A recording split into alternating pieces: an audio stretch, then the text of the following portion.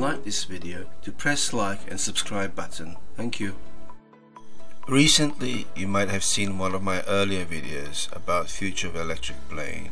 However, I never really looked closely on one of the more promising programs. Airbus's own e-thrust concept, an idea of hybrid electric plane that could possibly replace A320 family of aircraft in the early 2030s and 2040s. So what is e-thrust? E-thrust is an idea of building more sustainable eco-aircraft in 21st century, with Airbus playing a pivotal role in creating a technology.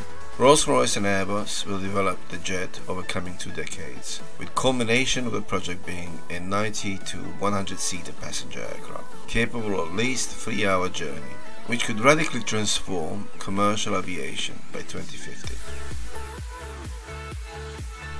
The whole proposition of e-thrust is based on principle of hybrid electric propulsion that could slash fuel cost whilst also remain relatively green, with reduction in carbon emission by 75% yet maintaining relatively good efficiency.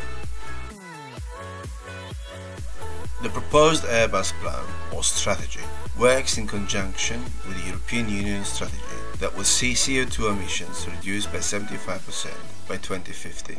A flight plan 2050 is a strategy that calls for drastic reduction in CO2, nitrogen oxides and noise levels. E-thrust is primarily designed to meet and exceed those targets.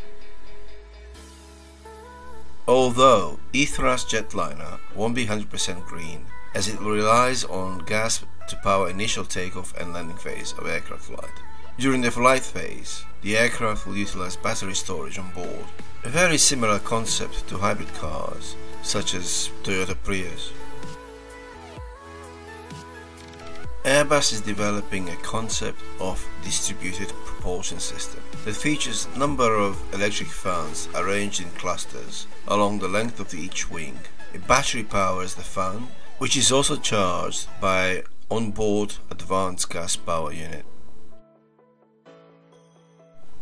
The gas plant powers the fans directly, though the battery can be charged to power an emergency landing should the gas system fail.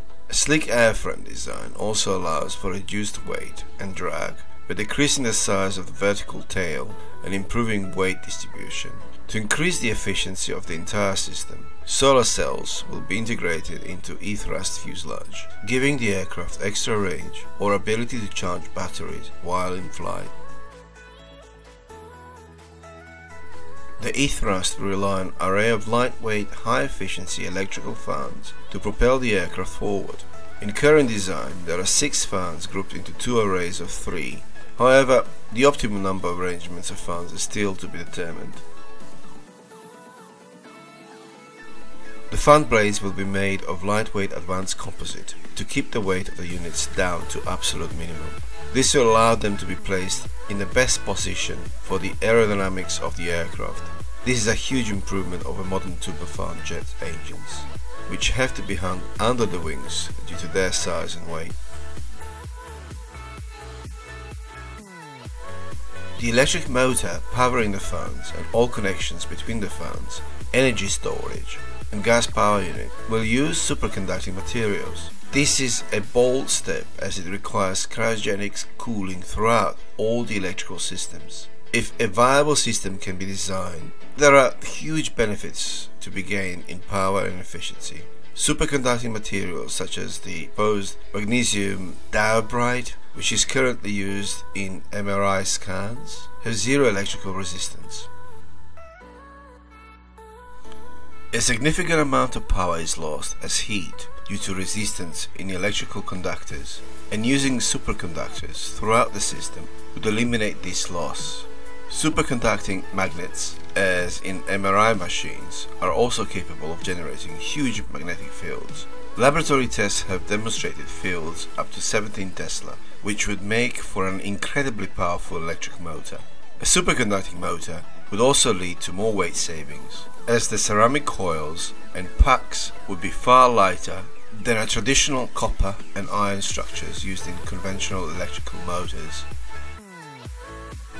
If all goes well and design can be completed by 2040, E-Thrust will revolutionize air travel. the air travel will become cheaper due to lower fuel costs, but also due to efficiency of the new technology. The fact the future of air travel is green, a greener than current generation of aircraft by significant margin. Will also play important role on how we travel in future and how often. I for one am looking forward to flights that won't have dramatic impact on my pocket but also the environment as well.